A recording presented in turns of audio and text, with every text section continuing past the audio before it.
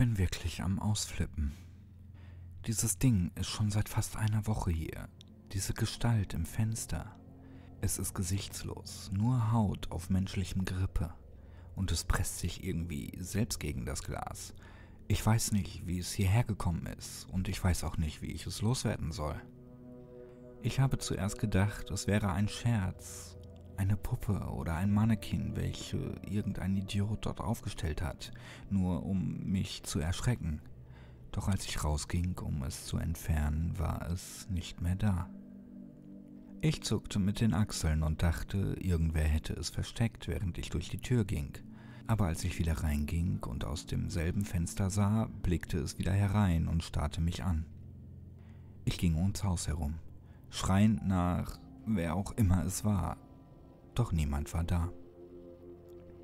Das Ding ist haarlos und nackt und es sah nicht so aus, als ob es wirklich Augen hatte oder überhaupt ein Gesicht. Aber sein Kopf dreht sich immer zu mir, wenn ich den Raum betrete. Wenn ich am Computer sitze, kann ich seinen gesichtslosen Hass spüren, wie er sich in meinen Nacken bohrt. Doch wenn ich mich umdrehe, sieht es unschuldig in eine andere Richtung. Schließlich, am Dienstag, versuchte ich das Fenster zu öffnen, doch es klemmte. Ich denke, dass das Ding es unten festgehalten hat, aber ich bekam einen guten Blick auf sein Gesicht. Seine Augen und sein Mund sind hinter der Haut, sie drücken sich nach außen. Es starrte mich an, lächelnd.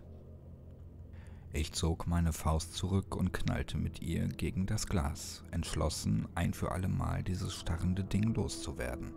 Ich weiß, dass ich stark genug bin. Das Glas hätte springen müssen.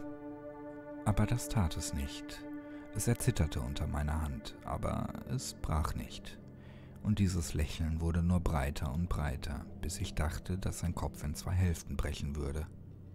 Es hob seine eigene Hand und klatschte mit seiner Handfläche gegen das Fenster. Es verspottete mich. Doch dann sah ich, dass sich ein feiner Riss bildete, wo seine Hand das Fenster traf, und ich wich zurück. Unter keinen Umständen wollte ich mit dem lächelnden Ding im selben Raum sein. Also besorgte ich mir Isolierband und begann das Fenster zu verdecken. Ich konnte nicht direkt hinsehen. Ich schiss mir schon fast in die Hosen, weil ich wusste, dass es mich beobachtete. Doch ich konnte nicht anders. Ich spickte nur ganz kurz zum hautbedeckten Gesicht. Ein winziger Blick. Es war wütend. Das bedrohliche Lächeln war nun ein Schlund voller Zähne. Die Haut des Mundes war zerrissen und ich konnte in seinen gähnenden Rachen blicken. Ein bedrohliches Poltern begann das Haus zu erfüllen und der Hages begann sich auszubreiten wie splitterndes Eis. Ich riss das Isolierband herunter. Das Poltern hörte auf, die zerrissene Haut wuchs wieder zusammen und es lächelte wieder.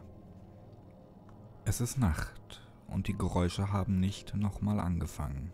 Es gibt keine Geräusche, kein Poltern, kein splitterndes Glas. Alles ist still aber ich kann spüren, wie es seine Klauen in den Stuhlrücken bohrt. Ich kann hören, wie sich seine Haut dehnt, wenn es lächelt. Es sieht mir beim Tippen zu.